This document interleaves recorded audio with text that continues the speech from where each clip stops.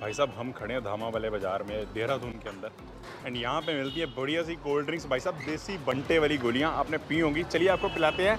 हम आपने अगर आपको नॉन अल्कोहलिक ड्रिंक पीनी है ना जैसे रेड वाइन पीनी है बियर पीनी है ये सारी चीज़ें आपको यहाँ मिलेगी लेकिन नॉन अल्कोहलिक चलिए आपको टेस्ट कराते हैं यहाँ का बढ़िया सा कोल्ड ड्रिंक्स मिलते हैं भैया से। सबसे पहले सर नमस्कार। नमस्कार सर। क्या नाम है सर आपका? सुमित। और आप बताइए कब से आप चला रहे हो ये काम? सर मेरे को तो बीस बाईस साल हुए हैं काम करते हुए मगर मेरी जनरेशन फोर्थ हुई। हाँ जी। फोर्थ जनरेशन फोर्थ जनरेशन है? फोर्थ जनरेशन मतलब लगभग कितने साल हो गए होंगे? आप लगा लीजिए seventy five years more than 75 years. मैं वो पुरानी बोतलें वहाँ पे पड़ी हुई देख रहा हूँ। तो बहुत पुरानी बॉटल्स हैं वो हमारी जो स्टार्टिंग आउट ऑफ़ इंडिया जब भी पाकिस्तान बॉर्डर नहीं था हाँ तब के वहाँ की बॉटल्स भी हैं। बेसिकली आप पाकिस्तान से यहाँ आए हुए हो। हाँ पाकिस्तान। ठीक है ठीक है ठीक और शुरू से यही लेमन सोडा वगैरह वहाँ पर भी यही था यहाँ पर भी यही यार मैंने एक आपकी स्पेशलिटी सुनी है। आप एल्कोहलिक ड्रिंक बनाते हो बड़े नॉन एल्कोहलिक नॉन एल्कोहलिक बनाते हो। नॉन एल्कोहलिक अच्छा ठीक है ठीक है ठीक है। नॉन अल्कोहलिक बनाते हो लेकिन नेम अल्कोहलिक रखे हुए नेम एल्कोहलिक्स हैं उसके क्योंकि अच्छा। फ्लेवर्स टेस्ट वही आता है। कौन कौन से होते हैं? फ़िलहाल रेड वाइन में बनाते हाँ जी। हैं रम कोला है बियर में बनाते हैं। ठीक है। ये तीन जो है नॉन अल्कोहलिक्स में। हाँ इसके अलावा वैसे कितने फ्लेवर्स हैं? इसके अलावा 18-20 फ्लेवर्स के करीब है। जैसे पुदीना वगैरह लेमन है मसाला है जीरा है पाइनएप्पल लीची मैंगो ब्लूबेरी अच्छा जोन से भी मतलब लीची मैंगो फ्रूट्स हैं वो हाँ सारे फ्लेवर्स हैं सारे फ्रूट्स फ्लेवर हैं? वो सारा बनता लेमन के अंदर ही है। है हाँ सारा लेमन के वाली बोतल है? हाँ जी हाँ भाई जी कैसे आपके दिमाग में आई है फ्लेवर्स बनाने का।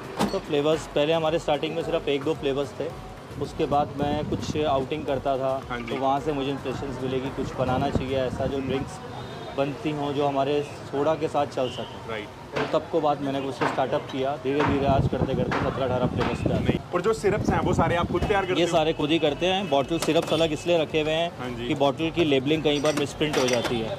तो उसमें सिरप बॉटल्स को पहचानना मुश्किल हो जाता। है अच्छा। इसलिए कुछ सिरप्स अलग करे हुए हैं कुछ बॉटल्स में बनाए हुए हैं।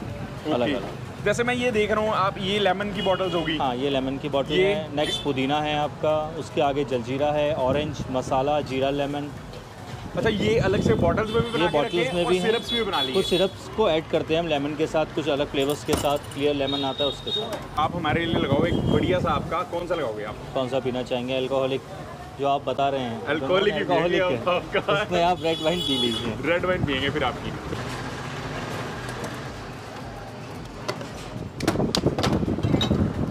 अच्छा ये आ गई रेड वाइन वाह जी वाह। ये आपका रेड वाइन खुशबू हल्की हल्की वैसी सी आ रही है। खुशबू वैसी आएगी थोड़ी बहुत मिलती हुई आपको एहसास हो जाएगा कि आपने रेड वाइन पिया अगर कभी ट्राई करी हो। अच्छा आप पूरा एहसास दिला रहे हो जो भी है मतलब जो नॉन अल्कोहलिक बंदे हैं उनको आप पूरी फील दिला दो बिल्कुल बिल्कुल बिल्कुल बिल्कुल।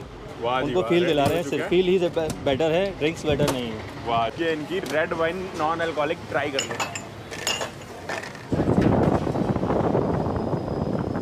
ऐसी आपको मस्त कोल्ड ड्रिंक्स पीनी है ना ये जो लेमन वाली कोल्ड ड्रिंक्स हैं आपको यहीं पे आना पड़ेगा सुमित भैया के पास।